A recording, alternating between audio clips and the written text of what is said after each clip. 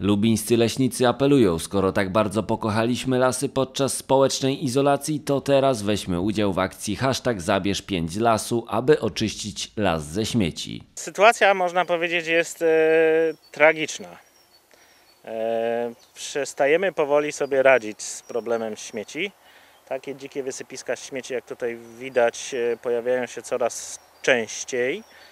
E, 2019 roku wywieźliśmy z terenów leśnych prawie 300 metrów sześciennych e, śmieci, wydając na to ponad 30 tysięcy złotych. To, co się dzieje w lasach, to przekracza ludzkie granice. Przecież tam jest wszystko, kompletnie wszystko rozwalane. No ani z dziećmi nie można na spacer wyjść. Wydaje mi się, że na pewno to jest lepsze, dobre dla środowiska, że teraz byliśmy odcięci od tego wychodzenia, ale mimo wszystko rękawiczki y, plastikowe zostają, czy, czy właśnie te gumowe, y, woreczki. Jest tego o wiele więcej niż było wcześniej. Akcja jest prosta, wystarczy zabrać 5 obojętnie jakich śmieci z lasu, zrobić zdjęcie, wrzucić do internetu i nominować kolejną osobę. Jak najbardziej, super. Moim zdaniem świetna opcja. Dla nas to są pięć rzeczy, a dla lasu trochę czyściej. wszystkim nam, którzy korzystamy z lasu, e, powinno zależeć na tym, żeby ten las zostawić takim, jakim go zostajemy, jak do niego przychodzimy.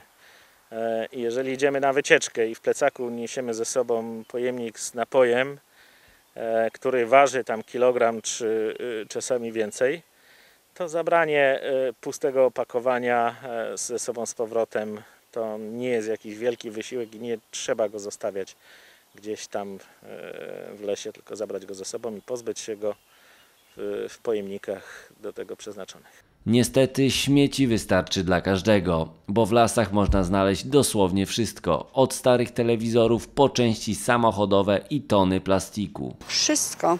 Ja pojechaliśmy raz z dziećmi, to żeśmy wyszli, bo naprawdę no jest smród. Jedynie wielki smród. Maseczki i rękawiczki chroniły przed koronawirusem, ale teraz, kiedy nie są już potrzebne, to trafiają wszędzie, tylko nie do kosza. Wszędzie, zwłaszcza pod Biedronką, pod większymi sklepami. Ludzie nic nie dbają o jakiś taką porządek, jakąś higienę. Później dziwota, że mamy tyle, tyle chorób. Przy sklepach najczęściej ludzie wychodząc ze sklepu nie wyrzucają do śmietnika, tylko gdzieś tam rzucą sobie Ludzie śmiecą, wywożą śmieci i tak dalej. A dlaczego oni to robią? Właśnie nie wiem, śmietniki są bliżej.